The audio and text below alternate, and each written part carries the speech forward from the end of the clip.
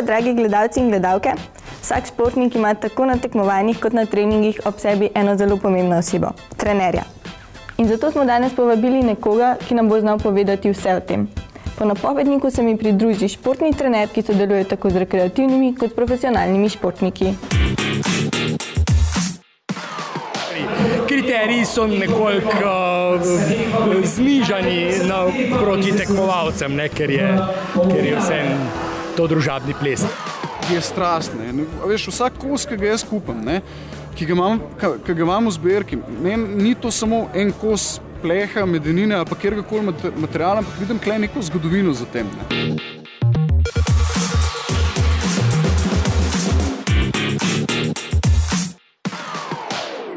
Z mano je Rok Svetko, diplomirani kondicijski trener.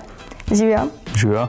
Tako v rekreativnem kot v profesionalnem športu ste osebni trenerji vedno pogostejši. Zakaj je pomembno, recimo, da si ljudje um, izberejo trenerja in ne delajo sami? Uh, predvsem bi tu spostavil dejstvo, da na začetku se ljudje ne zavedajo, v kakšnem stanju prihajajo pač v fitness oziroma v neko gibanje. In potem, ko pridejo v fitness, uh, nima dosti znanja, da bi se lahko začeli pač ukvarjati z določenimi stvarmi in počnejo pač neke uh, splošne programe.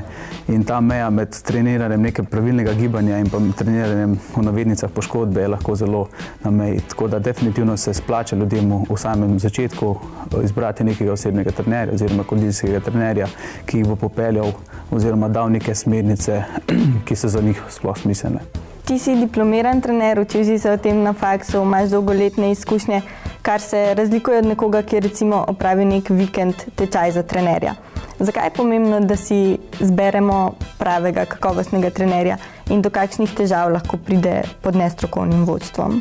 Uh, Definitivno bi priporočil, da si ljudje izberejo profesionalnega trenerja. To pomeni, da je svoj vse čas oziroma svoje celotno življenje nekako posveti temu delu in ni to njegova, se pravi, neka uh, druga dejavnost v dnevu. Uh, razlike prije predvsem to, da določeni trenerji nimajo neke širine. Zato je tu zelo dobro, da pač imaš človeka, ki je na mestu, uh, ki se zaveda vseh teh stvari in ki ima definitivno neko širino znanja, z katerega lahko izhaja in mu ponudi tisto, kar nekdo želi. Saj, če ima nekdo težave z hrbtenico, morda gležnjem, koleni uh, in si morda specialist oziroma strokovnjak za določeno področje, morda fitness trener za pridobivanje mišične mase, uh, težko bo poznal, kako temu problemu pristopiti. In kaj se lahko v najslabšem primeru zgodi pod nestrokovnim V vodstvom? najslabšem primeru se lahko zgodi, da se ta težava, ki je izhajala že v samem začetku, morda še poveča ali pa prije celo do dodatnih težav ali poškodb, ki pa vsekakor niso v našem, našem hotenju. Torej je pomembno, da si izberemo pravega trenerja. Ti pa um, se verjetno na svoje delo tudi pripraviš, ne prideš na trening in si sproti izmišljuješ, kako to poteka. Uh, Definitivno se za, za vsako svojo uro, za vsakim, ne bo to športnik, bodi si posameznik, se pripravim z približno nekim treningom, kaj želiva izvajati. Seveda je že pri tem celoten proces, ki, ga je potrebno upoštevati, da do tega sploh pride. Uh, vsaka ura je definitivno področje zase, saj je potrebno upoštevati, da ljudje nismo neki eh, sistemi, ki bi funkcionirali vsak dan enako. Potrebno je upoštevati, kakšen imamo življenjski slog, potem ali smo utrujeni, ali smo dobro spali, tako da se večino oziroma dosti treningov lahko prilagodi na podlagi tega, kaj smo pač prišli na trening in je potem potrebna improvizacija oziroma prilagajanje. Tako načrtovanje kot prilagajanje. Mi pa si zdaj le pogledamo, kako delo trenerja poteka v praksi.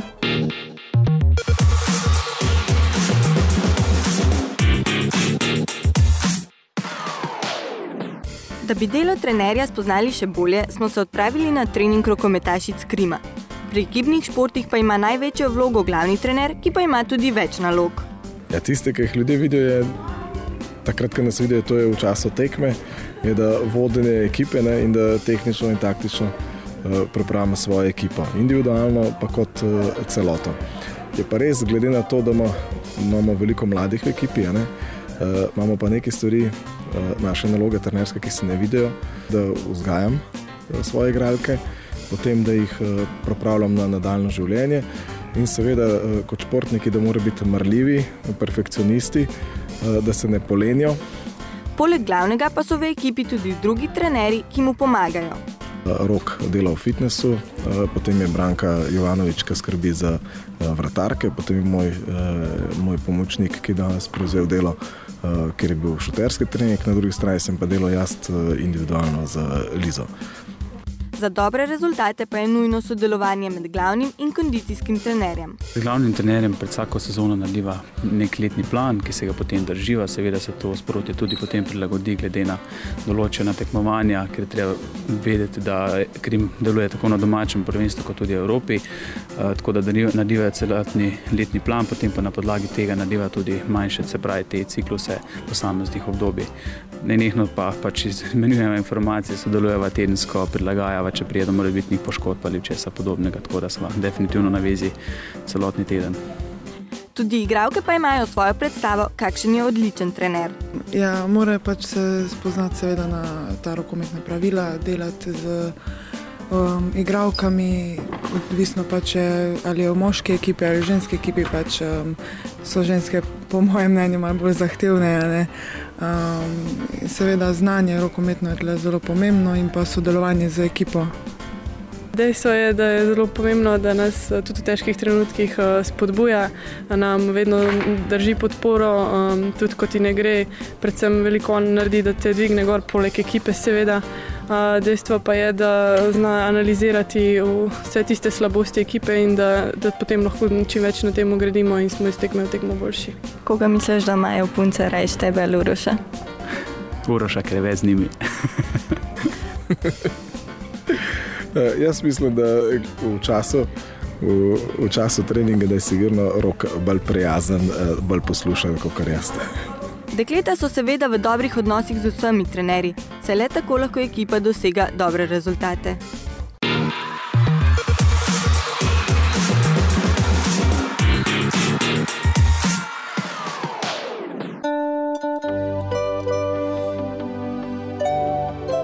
Naravna selekcija sokov iz najboljših sadežev in naravne mineralne vode Dana. Od narave Dani. Dana. Samo en je pečjakov burek. Privoščite si ga.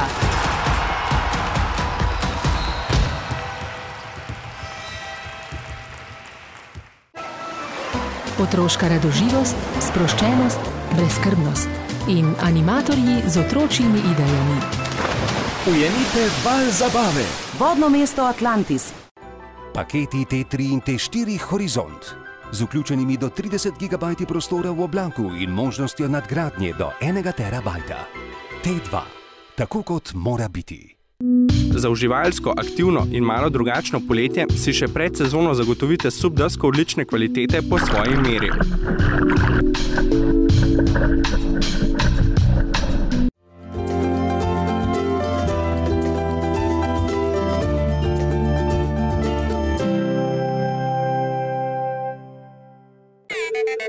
Partner King, spletna trgovina, kjer ti vedno nekaj ostane.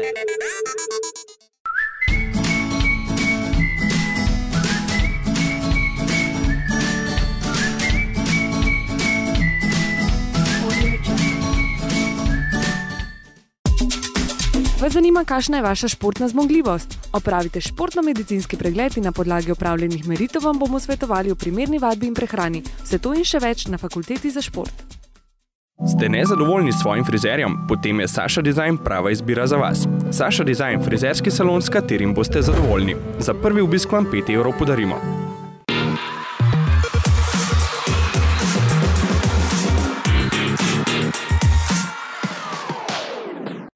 Z mano je še vedno Rok Svetko, diplomirani kondicijski trener. Kakšna pa je razlika v sodelovanju z nekim rekreativnim oziroma z nekim profesionalnim športnikom? Definitivno tu gre za veliko razliko, saj profesionalni športnik ima to posel, njegov celotni dan poteka dejansko v pripravi na sam trening, izvedbi treninga, počitku, regeneraciji. Medtem ko pri rekreativnem športniku se je potrebno zavedati, da ima drugačen življenjski slog, da ima službo, da ima obveznosti, šolo, dejansko, da se tudi nekatere malenkosti včasih kar pozabijo, kar se tiče prehrane, spanja in regeneracije. In poleg tega se tudi na treningu lahko da večkrat psiholog kot sam eh, trener, kar se pogosto pojavi, medtem ko pri profesionalnem športniku pričakuješ, da motivacija načeloma ni problem. Omenil si že spanje in regeneracijo, in dobra fizična pripravljenost ni samo trening. Koliko lahko naredi trener in pa koliko športnik sam za svojo dobro fizično pripravljenost?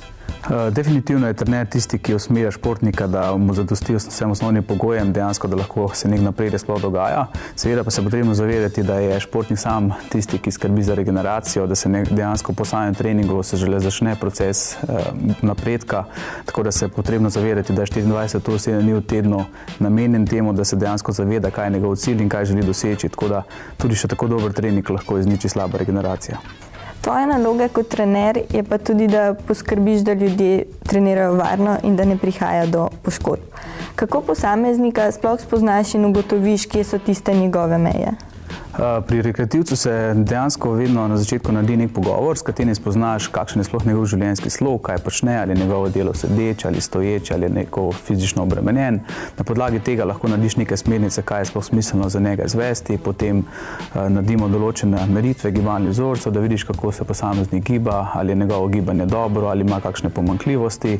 Potem pa seveda vse skupaj to zaobjameš v neko celoto in poskusiš združiti s cilji, s katerimi pač ima in da jih na nek način najbolj smiselno dosežeš. Medtem ko pa pri profesionalnem športniku pa gre za določene testiranja, ki se dogajajo redno in na podlagi tega narediš potem nek letni plan oziroma ciklus posameznih dogodkov, da priješ do vrhunca njegove forme. Vsekakor je treba posameznika zelo dobro poznati. Definitivno. Mi pa si sedaj pogledamo, kako so se študenti imeli na festivalu plesa.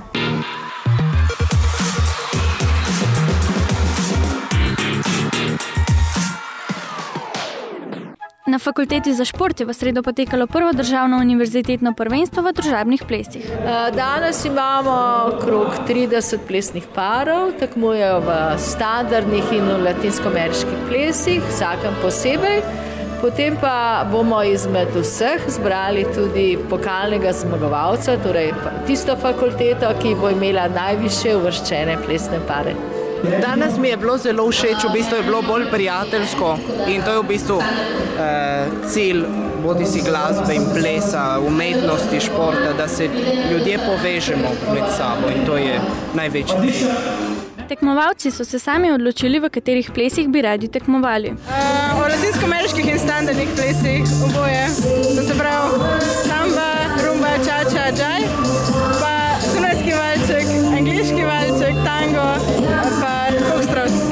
začetku tekmovanja so plesalci tekmovali v treh skupinah, vsak ples posebej. Sodniki pa so izbrali 12 parov, ki so prišli v polfinale. Sedaj pa jih čaka še. Če je finalni nastop, 6-7 parov v finalu. Tam bodo potem določili prvo, drugo, tretje, četrto, peto, šesto mesto. Potem pa računalnik zračuna, kdo so tisti, ki tvorijo najboljšo ekipo. Ker je bilo to prvo tekmovanje, so se lahko plesalci in plesalke oblekli po svoji želji. Ker je prvič, nismo posebej predvideli nobenih posebnih oblačil, vendar za prihodne leto razmišljamo morda o koktejl oblekci za princeske. Pa, ne vem, fantje so pa itak uh, šiko oblečeni. Morda kakšne plesne čevlje, da srečamo, da ne bomo ravno v supergah. Plesne pare pa so ob igrišču pozorno spremljali sodniki, ki so ocenjevali. Torej, kako pari plešejo z glasbo, ker glasba je osnova, osnova za ples. Potem pa kako sta usklajena, malo tudi kakšne korake znajo, drža in podobne stvari. Kriteriji so nekoliko uh, znižani na, proti tekmovalcem, ne, ker, je, ker je vse to družabni ples. Plesalci so prišli z namenom tako tekmovati, kot tudi uživati v plesu. So prišli glede na to, da se tle ocenjujejo, ne? glede na usvojeno mesto, pa zato, da se imamo fajn. Recimo, da oboje, ne? v bistvu, da se zabava znotraj neke resne stvari. In meni se zdi, da če človek živi tako življenje, potem je to prava stvar, oziroma prava smer življenja, da ti znotraj resnih stvari tudi uživaš v tem. Na naslednjem tekmovanju pa se boste lahko pridružili tudi hip-hop plesalci. Sicer pa razmišljamo, da bi stvari razširili še na hip-hop tekmovanja, mogoče v malih skupinah, ki bi zastopale posamezne fakultete, mogoče v hip-hop parih. Bomo videli.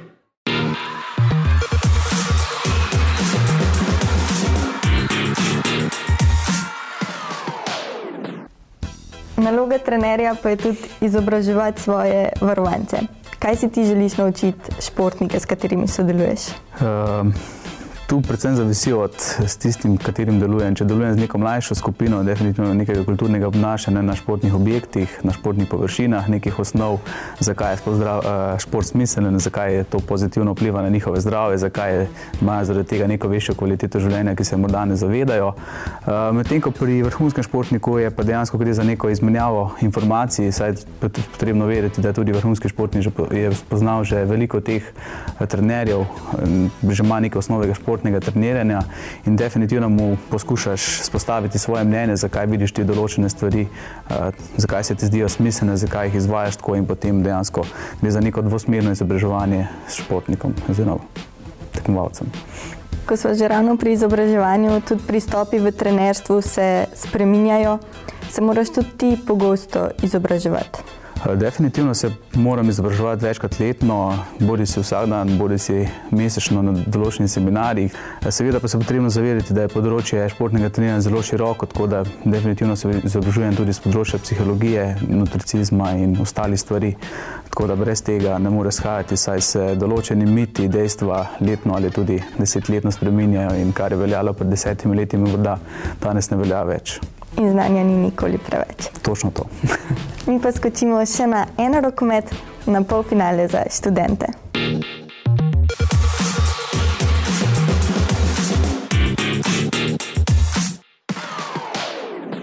Športni dvorani Krim na Galjevici so se v ponedeljek med seboj pomerile rokometne ekipe na prvenstvu Univerze v Ljubljani v rokometu. Prijavilo se je letos uh, izredno veliko število uh, ekip, se pravi v moškem konkurenci je to devet ekip, uh, kar je dve, sta dve ekipi več kot lani. Pri ženskah ostajamo pri štirih ekip, ekipah, isto kot lani. Samo tekmovanje je potekalo tri dni. Danes in v sredo 6. potekajo pretekmovanja, finalne boje organiziramo 13. v tudi v sredo 13. na istem, v isti telovadnici. Rokometni turnir so letos organizirali tretjič, število ekip pa z vsakim letom narašča. Samo tekmovanje poteka v bistvu v sistemu četrt finala, se pravi, igrali smo eno predkolo, tisti, ki, bo, ki so zgubili v predkolu in v prvem kolu, igrajo razigravanje od 5. do 9. mesta, naslednjo sredo igramo polfinale in sredo 13. igramo finale. Pravila igre so nespremenjena, prilagojen pa je čas igranja, saj polčas traja 13 minut.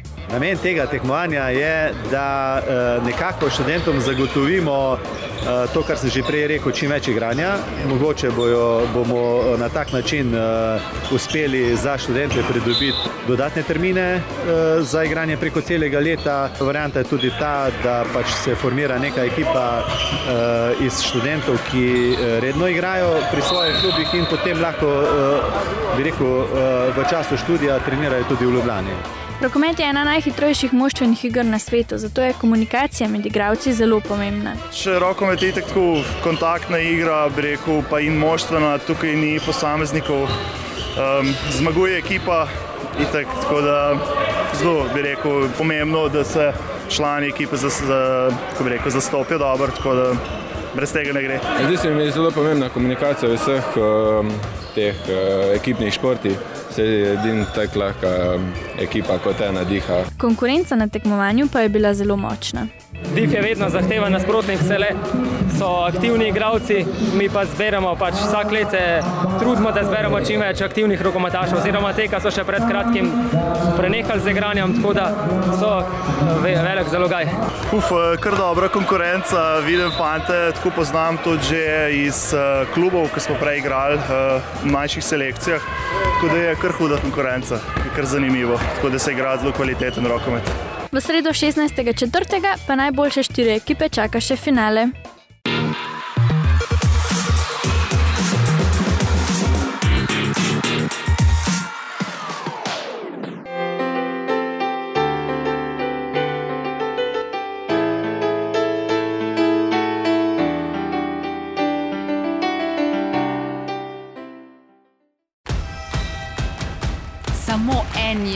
Je pečjakov burek. Privoščite si ga.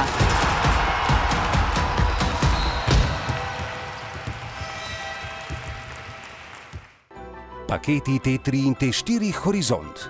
Z vključenimi do 30 GB prostora v oblaku in možnostjo nadgradnje do 1 terabajta. T2. Tako kot mora biti.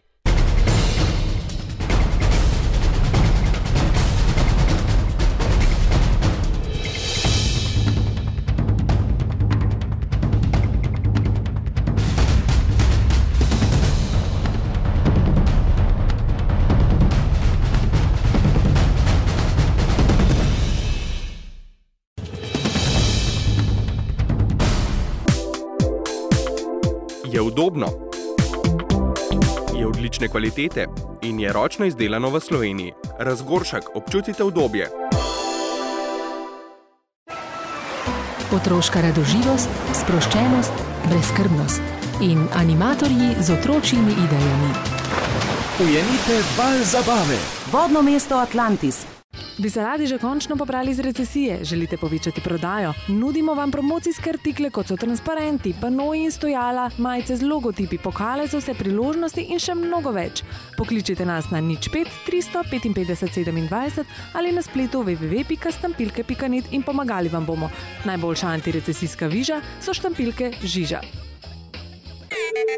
Partner King, spletna trgovina, kjer ti vedno nekaj ostane.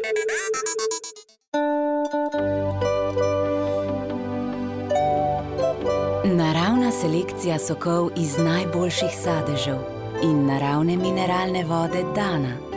Od narave Dani. Dana.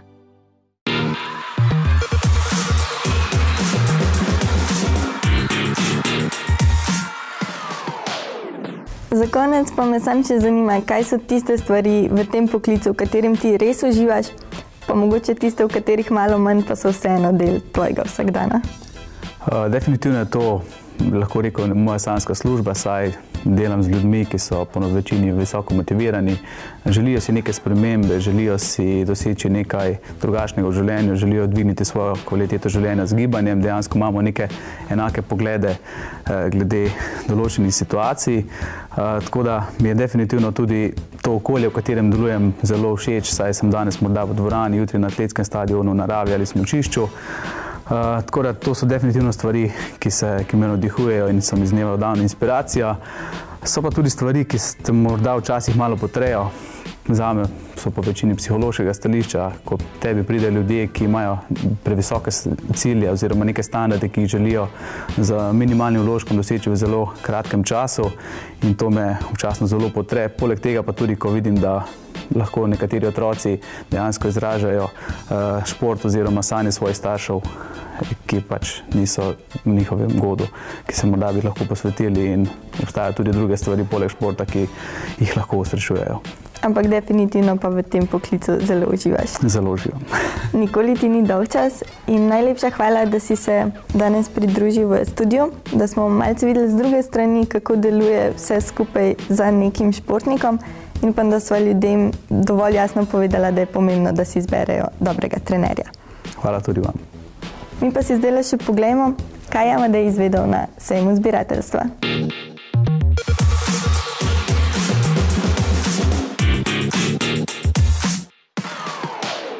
Ste tudi vi kdaj zbirali servetke, kovance, znamke ali razglednice? Mi smo obiskali sejem zbirateljstva, kjer lahko najdete omenjene zbirke in še več. To je gospodarsko razstavišče, drugi dan sejma zbirateljstva.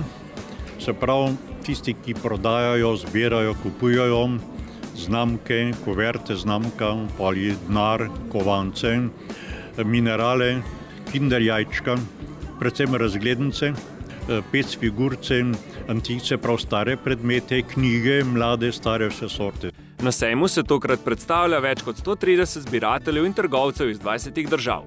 Da rečem iskreno, profesionalno se ukvarjam recimo s tem deset let. Ne.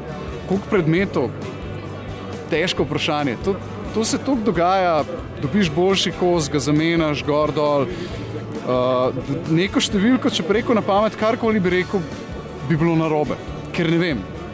Se nabere, se nabere tok pa tok stvari čez leta, zdaj imaš uno ožjo zbirko, ki jo poznaš v nulo, ki tebi največ, največ pomeni, imaš pa ti širši spektr, ki je pa potem tak, da, da se lahko kaj tudi obrača, kaj zamenjaš, prodaš nekomu drugemu, zato da kupiš nekaj drugega za svojo lastno zbirko. Ne. Na sejmu se vsako leto potrudijo, da prikažejo nove, zanimive zbirke. Tako da smo razkazali etikete z banan, etikete sadja, bančne obrazce, potem eh, čajne škatlice in poli etikete vžigalc, to je že znana stvar, pa vžigalnike, še pa še odstavke za pivo, recimo jaz sem jih tudi veliko izbral in tako naprej. Ker poanta dobre zbirke je ne, da imaš ti ful velik stvari. Ne. Ti imaš lahko pet kosov, ampak če so te kvalitetni, to je tisto, kar daje vrednost zbirki. Zbirateljstvo je ljubiteljska dejavnost posameznikov, ki pa hitro preide v strast. Je strast, ne. ne veš, vsak kos, ki ga jaz kupam, ne, ki ga imam, ki ga imam v zbirki, ne, ni to samo en kos pleha, medenine ali kjerkoli materijala, ampak vidim kle neko zgodovino za tem. Ne. Greš raziskati, probaš ugotoviti, kdo pa to nosi, ne.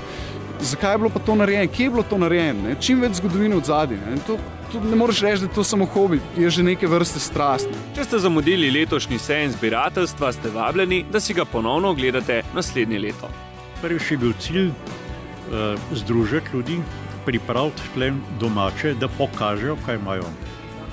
To je eno, drugo pa tudi animiran še ostale, ki imajo sigurno doma kaj. To vsako leto ugotavljamo, kaj imajo še ljudje doma.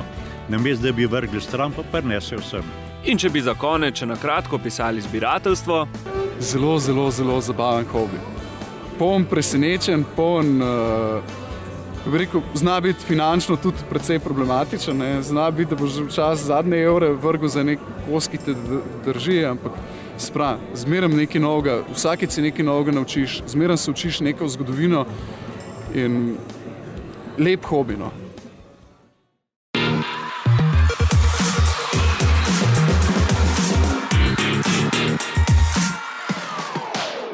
Za konec pa še naš nasvet: veliko športajte, dobro jejte in pa seveda poskrbite za regeneracijo. Do naslednjega tedna, ko bomo zopet z vami, pa poklikajte tudi na naš Facebook in na spletno stran. Čau! Dober tek! Živijo!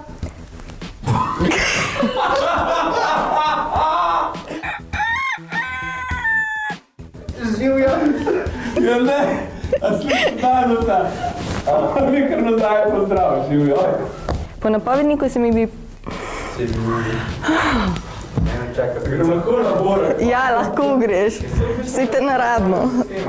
Zato smo danes povabili nekoga, ki nam bo povedal vse o tem. Pa dej, če vidim tebe, da plešeš, pač vidim te. In tebe, da se smejiš.